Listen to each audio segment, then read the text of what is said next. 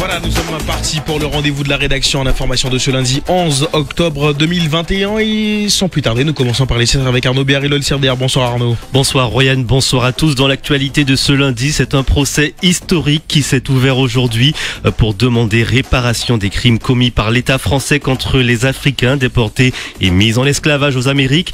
Parmi les plaignants, euh, le MIR Guyane, le mouvement international des réparations qui attend euh, beaucoup de la justice. Pour en parler, nous aurons direct maître Alex Leblanc, l'un des avocats guyanais dans ce procès qui se tient à Fort-de-France. L'élection présidentielle, c'est dans six mois. En Guyane, la campagne a débuté. Après avoir donné la parole au vert la semaine dernière, on parlera de la Guyane insoumise et de la candidature de Jean-Luc Mélenchon. Euh, ce week-end, les militants étaient à la rencontre des électeurs guyanais. Euh, dans l'actualité du Covid-19, l'épidémie ralentit. On note une baisse des hospitalisations et du taux d'incidence. La situation s'améliore donc et notamment dans l'est du territoire où malgré tout les frontières restent fermées. Et puis enfin, retour sur deux jours de colloque en l'honneur de René Maran, cet écrivain guyanais qui a été le premier auteur noir à recevoir le prix littéraire Goncourt. C'était il y a presque 100 ans. Voici le 18h de la rédaction. Bienvenue à toutes et à tous. Je rappelle que le 18h de la rédaction est en direct sur le Facebook Live de Radio Pays. Vous le disiez en titre, c'est un procès historique qui s'est ouvert aujourd'hui. Un procès à la Cour d'appel de Fort-de-France en Martinique pour demander réparation des crimes commis par l'État français contre les Africains déportés, mis en esclavage aux Amériques. Durant ces deux jours de procès, une quinzaine d'avocats, dont trois Guyanais, seront à la barre du côté des plaignants. Parmi les plaignants, justement, le MIR, le Mouvement international des réparations. Pour en parler, nous sommes en direct par téléphone avec Maître Alex Leblanc. Bonsoir. Oui, bonsoir. Alors, Maître Alex Leblanc, euh, vous faites partie des trois avocats guyanais parmi les 15 autres hein, qui sont aux côtés des plaignants à la Cour d'appel de Fort-de-France. Qu'est-ce qu'on peut retenir déjà de cette première journée de procès? Tout d'abord, euh, tout d'abord, nous sommes, sommes trois avocats, Maître Danzac, le bâtonnier Danzac, oui. euh, Maître Robéry Roseville et moi-même. Alors, qu'est-ce qu'on peut retenir de ce premier procès? C'est qu'en fait, ce sont essentiellement les parties, euh, les parties demanderesses, en l'occurrence le maire Martinique et un certain nombre d'associations qui ont, qui ont saisi le tribunal. Bon, ils, ils avaient perdu en première instance et ils ont interjeté appel. Donc, on a plaidé, on a plaidé, on a fait une sorte, on, on a essayé de suivre un plan. C'était un peu compliqué, mais on a, on a essayé de le suivre. Et le plan était signé à savoir, enfin, il y avait un certain nombre de questions fondamentales qui étaient posées par rapport au droit civil, à la procédure civile. Est-ce que est-ce qu'il y a une prescription? C'était une question fondamentale. Est-ce que la prescription joue? Parce que en fait, on est en plein, on est en plein dans dans une question aussi, elle aussi fondamentale. Est-ce qu'on peut réparer l'histoire? Oui. Et pendant combien de temps on va la réparer? Justement, c'est un. 1848, Oui. 2021, euh, ça fait 30 ans. Oui, justement, euh, c'est une procédure judiciaire hein, qui a démarré depuis longtemps, hein, depuis 2005, me semble. Euh, Maître Alex Leblanc, vous, vous, euh, comment peut-on réparer, comment peut-on défendre plutôt des plaignants qui demandent réparation de, de plusieurs centaines d'années d'atrocités hein, menées par l'État et pour des faits qui remontent à plus de 200 ans maintenant? Alors, alors, je, reviens à mon premier propos. Est-ce qu'on peut réparer l'histoire? Et quels sont les préjudices? Alors, manifestement, il y a effectivement des préjudices. Enfin, nous sommes, nous sommes, nous sommes nous-mêmes euh, victimes d'un certain nombre de choses qui sont liées à la traversée de l'océan Atlantique. Beaucoup de Guyanais souffrent, hélas, d'hypertension. Et un certain nombre de médecins, un certain nombre- de chercheurs pensent que c'est dû à la rétention d'eau, au sel accumulé qui a été transmis génétiquement. Mais ce n'est pas seulement les seuls, les seuls, les seuls préjudices. Il y a aussi des préjudices qui sont liés à, à, notre, à notre conception du monde, aussi à, au mépris que l'on a eu, au rabaissement. Enfin, il y a toute une série de choses euh, qui peuvent être citées, mais je pense que le, le temps d'antenne n'est pas suffisant pour, pour développer tout ça. Qu'on peut dire par rapport au temps, euh, oui, il y a une difficulté fondamentale dans le procès, c'est euh, à quel moment court la prescription? Et les avocats, les excellents confrères de Martinique et Guadeloupe disent que le procès n'a pas encore commencé à courir parce que les développeurs d'esclaves ne savaient pas à quel moment il fallait agir en justice. Hmm. Est-ce que c'était juste après la 1848 Les gens ne savaient ni lire ni écrire. Et en plus, il n'y avait pas, dans, contrairement à ce qui s'est passé pour les propriétaires d'esclaves, il n'y avait pas d'indemnisation les gens, bon, peu de gens savaient qu'il fallait saisir les juges. En tout cas, des indemnisations du côté des propriétaires euh, d'esclaves. Il y en Oui. avait eu. Qui ont existé. Oui. Euh, il fallait les indemniser de leur perte, de la perte de leurs meubles. Mm. En l'occurrence, nos, nos grands-parents, était, on était effectivement considérés comme des, comme des meubles. Mm. Pas Alors- autre chose. Oui. Alors, euh, maître Alex Leblanc, euh, euh, à l'issue de ce procès, que- quelles sont vos attentes? Qu'est-ce que vous espérez euh, à l'issue de ce procès en appel? Alors nous, on va essayer, on va essayer d'être modeste. On est venu apprendre, apprendre et comprendre. Ensuite, pour pouvoir agir. C'est-à-dire quoi? C'est-à-dire qu'en fait, il faudra absolument que l'on puisse, ça se passe bien, que l'on puisse, nous ici en Guyane, mettre en place une procédure judiciaire pour euh, pour voir si c'est possible euh, d'obtenir des, des indemnités. Alors c'est quoi les indemnités? Il y a tout un débat par rapport à la loi Toubira. Parce que la loi Toubira ne prévoit- ne prévoit pas des sanctions ou en tout cas des indemnisations.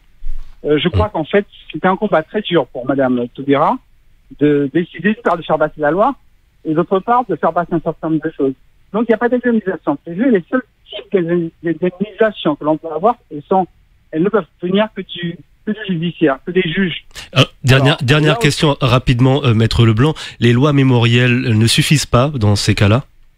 Non, bien sûr que non. Une loi mémorielle, c'est la loi, notamment, notamment la loi qui reconnaît le génocide arménien, notamment la loi Guesso, notamment la loi Toubira. Ils disent, bon, est-ce que ça existe ces lois mémorielles, c'est-à-dire qui, qui viennent simplement rappeler des faits historiques Non, dans la loi Toubira, par exemple, il y a des, des sanctions qui sont prévues. Hmm. Il y a des sanctions qui sont prévues, notamment par, elles ont été, il y a une sanction bien spécifique dans la loi sur la presse de 1881. Très bien. Euh, le mémorial, c'est- gênant, mais là encore, je pense qu'il faudrait organiser un débat Oui. pour que l'on puisse discuter ça et j'espère que vous le ferez. On aura, on euh, aura évidemment l'occasion d'en parler plus largement sur nos antennes euh, dans nos prochaines émissions. En tout cas, merci euh, maître Alex Leblanc hein, d'avoir pris le temps de, de répondre à, à nos quelques questions. Je rappelle que vous faites partie des trois avocats guyanais à la barre à la Cour d'appel de Fort-de-France pour ce procès historique pour la réparation des crimes de la traite négrière. L'église en, Gu- oh, en Guyane s'adresse aux fidèles à la suite du rapport de la CIAS. Oui, on rappelle que la CIAS, la commission indépendante sur les abus sexuels dans l'Église, a publié un rapport sur les abus sexuels dans l'Église en France. Euh, 216 000 victimes de prêtres pédophiles depuis les années 50 ont été euh, recensées. Euh, Ce dimanche, les prêtres de Guyane ont lu un courrier de Monseigneur Michel Dubosc, administrateur apostolique en Guyane. En pensant aux victimes, Monseigneur Dubosc euh, parle d'histoires gravement endommagées, voire brisées, et souhaite que la fonction de prêtre soit désacralisée et souhaite également davantage de dialogue dans l'Église. Et dans l'Est, l'épidémie ralentit un peu et pourtant la frontière reste fermée. Et tout l'Est guyanais est passé récemment en zone bleue, c'est-à-dire que le virus y circule moins. Euh, Cependant, la frontière avec le Brésil reste fermée à la circulation des personnes. Dans l'Ouest, l'épidémie est encore virulente, mais le passage vers le Suriname est possible sous certaines conditions. La politique des frontières est menée depuis Paris, qui doit s'entendre avec Brasilia et Paramaribo. Euh, Cédric Dubons, directeur général de la sécurité, de la réglementation et des contrôles, en l'écoute. La levée de ces restrictions ou de la frontière elle-même ne dépend pas du préfet de, de Guyane, mais dépend au niveau euh, gouvernement, euh, gouvernemental par euh, un, un texte qui est un décret, c'est un décret qui avait euh, constaté la, la- que la frontière était, était fermée, et surtout après accord entre le gouvernement brésilien et le gouvernement euh, français. Voilà la, la, la, logique qui s'applique, c'est-à-dire que sur les frontières, on n'est pas seul la Guyane à jouer, mais c'est une partie à deux entre deux États dans le cadre de relations internationales et diplomatiques euh, euh, sur le, le sujet, sur ce sujet, comme sur tous les sujets qui touchent deux pays euh, souverains. Donc voilà Cédric Dubans, directeur général de la sécurité et de la réglementation, également des contrôles. Il répondait à Florian Royer. Covid-19, l'épidémie semble marquer le pas. Avec un taux d'incidence qui baisse, il est passé sous la barre symbolique des 400 cas pour 100 000 habitants, soit 378 pour 100 000 habitants. La semaine dernière, en moyenne, 207 nouveaux cas ont été recensés tous les jours, un chiffre lég- légèrement inférieur à la semaine précédente. Cependant, l'épidémie reste toujours aussi mortelle avec trois décès recensés ce week-end. Depuis le début de la crise sanitaire, près de 290 personnes sont mortes du Covid-19 en Guyane. Radio Pays, la suite du journal Arnaud Béharry Lolsiader. Dans le reste de l'actualité, on revient sur ce naufrage, euh, cette embarcation au large de Kourou à la fin du mois d'août. Et depuis, sur les 24 passagers, seuls 4 ont été retrouvés en vie. Les 17 autres sont encore portés disparus. Ce week-end, l'ADN de trois corps hein, qui ont été retrouvés sur les côtes guyanaises ont été envoyés à Paris pour des analyses plus poussées et tenter d'identifier ensuite les corps avec la police fédérale brésilienne de Brasilia. La France soumise se lance en campagne électorale. À six mois, quasiment jour pour jour de l'élection présidentielle, un groupe de la Guyane insoumise, la version locale hein, du parti de Jean-Luc Mélenchon, s'est rendu à la rencontre des Guyanais sur les marchés de Batoury, Cayenne et Kourou. Un temps d'échange pour euh, échanger donc avec les électeurs, pour représenter leur programme de leurs candidats et également affirmer leur position politique pour les élections législatives.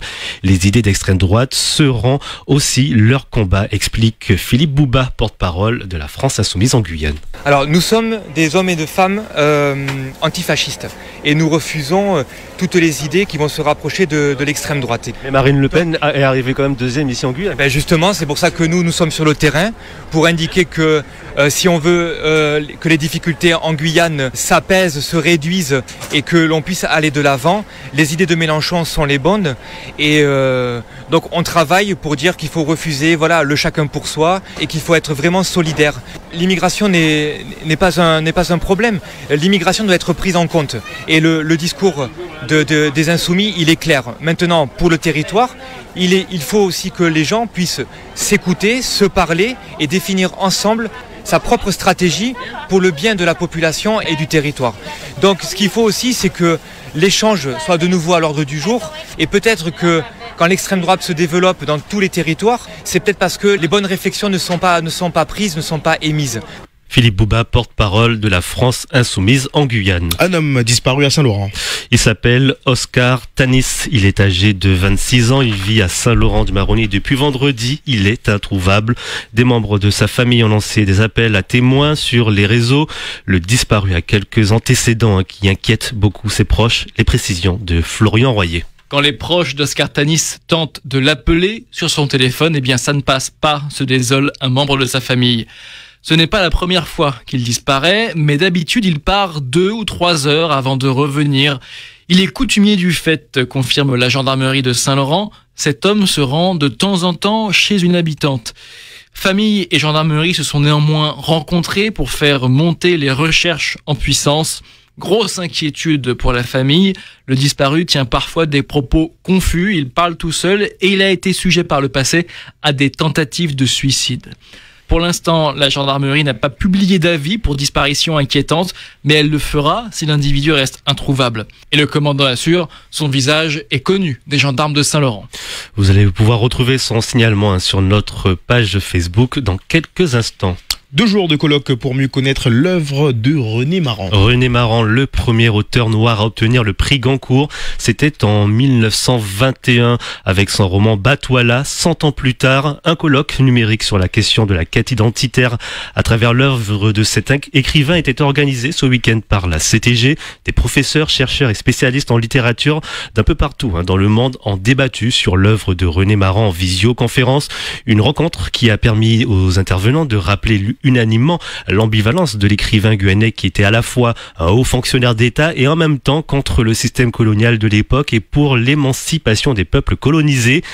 Précurseur du courant de la négritude, négritude explique Boris Lama, docteur en histoire et chargé de recherche en langue patrimoine à la CTG. On peut dire que René Maron était un homme de 100 ans, hein, c'est-à-dire un homme du 19e siècle un noir, un créole, un guyanais qui est né à l'époque de l'assimilation et qui souhaitait, qui espérait qu'il soit reconnu en tant qu'homme, qu'on ne le reconnaisse pas seulement à sa couleur de peau, mais en tant qu'être humain. Il pensait, comme la plupart des gens de son époque, que le noir devrait s'améliorer, qu'il devrait s'élever au niveau du blanc, mais il fallait quand même reconnaître la dignité du noir. C'est pour ça qu'il a dénoncé les, les exactions que, subissaient les Africains en Afrique.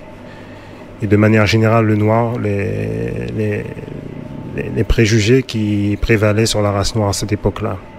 Donc quand on parle de René en général, on parle d'ambivalence. C'est ce que les invités nous ont confié.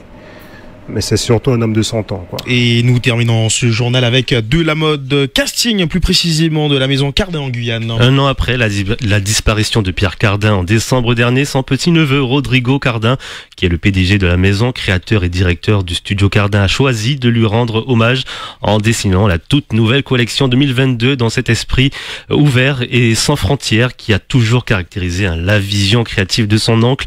À cette occasion, la maison Cardin lance un casting en partenariat avec la première école de maquina de Guyane, euh, Icons Management, euh, dirigée par Shirley euh, Jean-Charles. Un casting à Kourou le 17 octobre. Ces mannequins intégreront le prochain défilé de la maison Cardin. Ils participeront notamment au prochain défilé officiel organisé à l'occasion de la Fashion Week en janvier 2022. La maison de couture recherche deux hommes et quatre femmes âgées de 16 à 22 ans, un homme et une femme de 35 à 45 ans, ainsi qu'un garçon de 10 ans. Une présélection aura lieu le 13 octobre. Merci.